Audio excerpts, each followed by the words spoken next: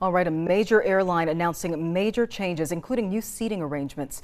Southwest announced back in July that assigned seats would eventually be coming to its airplanes, but now it's official. These changes could be coming as soon as next year. The airline says it's expecting to start selling tickets with assigned seats in the second half of 2025. This comes after the company polled customers and found 80% want seat assignments. Southwest will also begin offering premium seating featuring extra legroom and priority boarding.